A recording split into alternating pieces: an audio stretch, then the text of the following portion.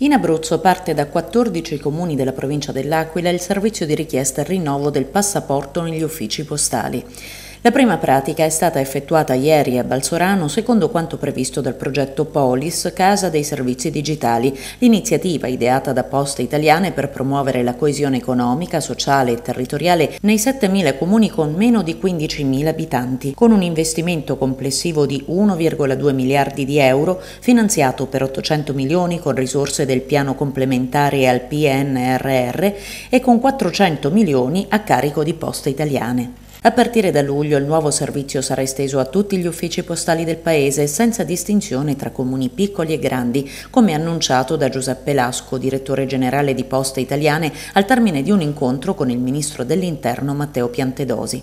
Grazie alla convenzione firmata tra Poste Italiane, Ministero dell'Interno e Ministero delle Imprese del Made in Italy, i cittadini potranno aprire la pratica di richiesta o rinnovo del passaporto presentando la documentazione direttamente nell'ufficio postale senza doversi recare in questura, con la possibilità di ricevere il passaporto a domicilio.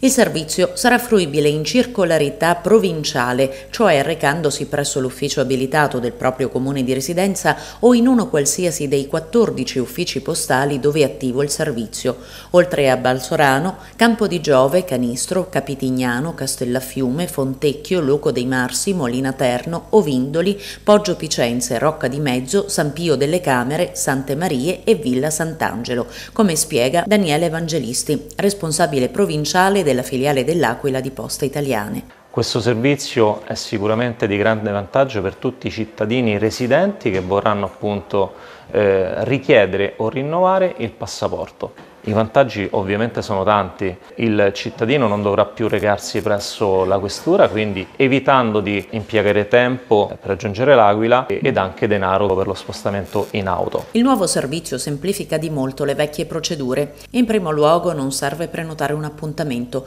basterà infatti recarsi nell'ufficio postale prescelto come per qualsiasi altra operazione, consegnare un documento d'identità valido, il codice fiscale, due fotografie di cui una precedentemente legale legalizzata, una marca da bollo da 73,50 euro in contrassegno telematico e pagare il bollettino di 42,50 euro. In caso di rinnovo bisognerà consegnare anche il vecchio passaporto o la copia della denuncia di smarrimento o furto del vecchio documento. Grazie alla piattaforma tecnologica di Poste Italiane sarà poi l'operatore di sportello a raccogliere le informazioni e i dati biometrici del cittadino, impronte digitali e foto, inviando poi la documentazione all'ufficio di polizia di riferimento. L'avvocato Gabriella Perruzza è la prima cliente di Poste Italiane ad aver usufruito del nuovo servizio ritirando il proprio passaporto presso l'ufficio postale di Balsorano. Le distanze e le lungaggini temporali che erano richieste nei mesi precedenti eh, facevano sicuramente da deterrente. Ad oggi, grazie all'opportunità del mio paese, il comune di Balsorano, ho potuto finalmente soddisfare quello che è un mio diritto